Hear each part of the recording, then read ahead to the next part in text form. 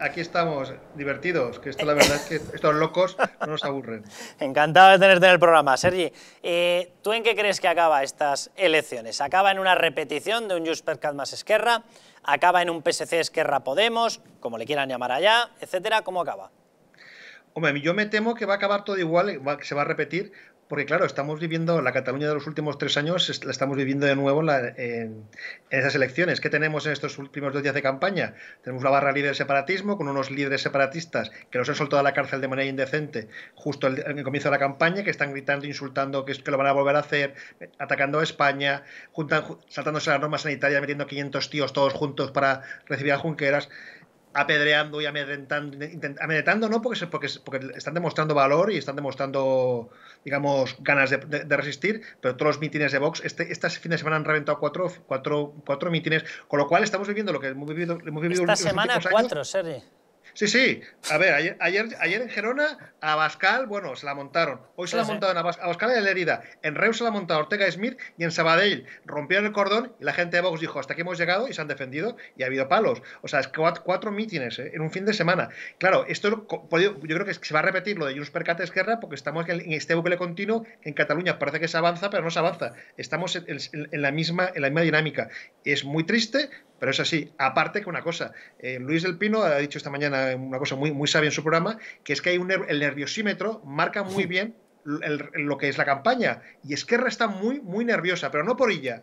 Está muy nerviosa por Laura Borràs y por Cat, que están haciendo una buena campaña para, para, dentro de la locura separatista. Es una buena campaña y se van a llevar el gato al agua. O sea, Sergi, que tú no, exacto, que tú no descartas para nada que después de toda la monserga que nos han dado, después de coger al desastre este ministro que teníamos aquí, que ahora ya lo tenéis allá de candidato, mi pésame por cierto, eh, que después de todo eso encima se repita el resultado de lo que tenemos ahora ya en el gobierno catalán.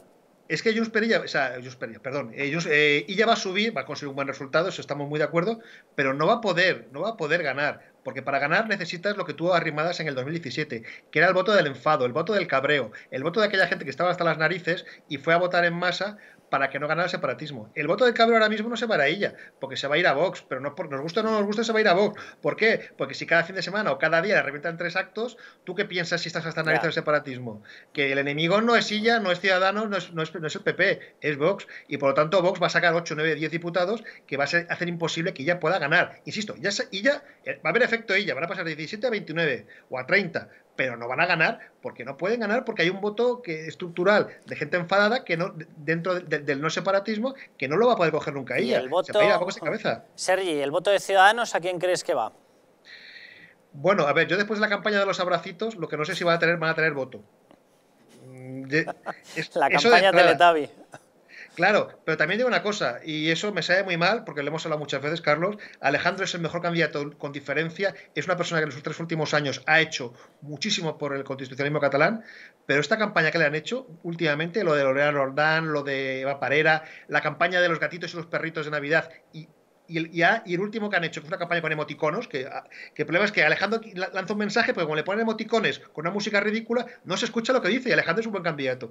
El problema es que PP y Ciudadanos no van a heredar todo ese, no van a poder mantener ese nivel de voto de, hace cuatro años, tres años simplemente, porque están en otra onda, está, con la campaña de los abrazos, mientras el separatismo no quieren abrazos, eh, quieren a Laura Borrás, a la CUP y a estos locos. Es que claro, eso es lo que hay. No te puedes abrazar con alguien que no quiere ser abrazado. O sea que por mucho que nos estén vendiendo fuera de Cataluña, lo cierto es que esa mofa de gobierno que ha montado Puigdemont, a través de Torra, y que ahora recupera, aunque sea uno de Esquerra, lo mantiene, mantiene esa herencia, mantiene ese legado, pero Aragonés, lo cierto es que no ha conseguido espantar tanto el voto en Cataluña. No, no, no, a ver, yo estoy convencido, yo estoy convencido, o sea, el separatismo mm, va a repetir posiciones. Si encima de la abstención baja, y parece ser que la abstención va a afectar más al voto no separatista que al separatista, mm, puede, incluso llegar al 50% de los votos. Ahí solamente hay una duda, el que, claro, como en los últimos dos meses Esquerra se ha empeñado en destruir el comercio y la hostelería, que parte de ese voto se quede en su casa y a lo mejor consigan, en vez de llegar al 50, 49, pero el separatismo va a ganar. Eso, lo, único que va a ocurrir es que se va a, realinear el, espectro no separatista. Dentro de los, más pactistas con el separatismo, como ella, se verá buena parte de los votos. Vox, que es la parte más resistente, va a conseguir un muy buen resultado, insisto. El PP, va a subir, pero no tanto como pudiera por la campaña que están haciendo. Claro, poner ficha a, Roldán, que es la que nos ha echado de número 2, no se entiende si lo que quieres es plantar cara. Y bueno, y Ciudadanos, que tiene 36, hombre, por muy mal que le vaya, mantendrá 9, 10, 11, ya veremos cómo. Ahora, si siguen esta campaña de caída libre, los 12 o 13, recordemos que Ciudadanos, cuando, cuando las cosas van mal, en el rush final de las encuestas siempre, siempre, siempre caen picado. Ya le a los generales y le puede volver a ocurrir.